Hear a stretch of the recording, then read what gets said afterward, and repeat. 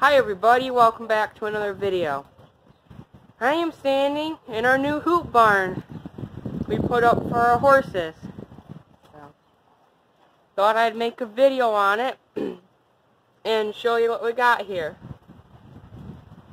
So this is a 20 by 20 hoop barn and it's big enough to put the round bale feeder in and the horses can go in it. Raining a ton right now. The pasture's all flooded over there. So, it's really nice. This thing is tall too. So, and it is tight. These hoop barns are really nice. People put these up to store hay and put animals in and whatever these days. And it's windy and it's not moving. It doesn't move at all for being just steel tubing and pretty much a thick tarp on it. So, yeah. This is what it looks like from the outside. It's very big. So it gives the horses plenty of room in there. And they got their hay. So that's super nice.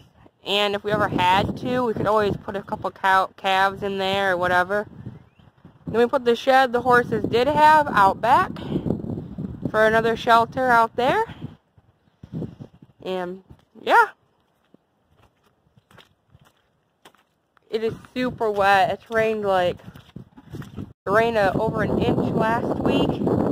And I think it'll be, it's already rained like two inches this week. So we got a huge pond going pretty much out there in the pasture. It has swinging gates here that shut them in and latch and everything that.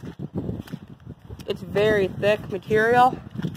This thing was heavy to put up there.